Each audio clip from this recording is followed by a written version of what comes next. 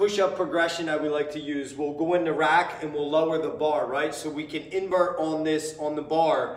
Um, so you can set this as high or as, as low as you want, right? The idea is sort of like a top-down method. So we want to start a little higher and then start moving that closer to the floor to get us into that regular push-up position. So all we're to do is I'm to show you on the bar here. So I want to grab the bar and almost like I'm bending the bar. So I'm bending it. I'm going to pull my chest down to the bar, push myself away. Okay, when this gets easier, I'm just going to keep lowering the rack and then eventually I'll be in that normal push-up position. All right, but try this, try this progression and go top down.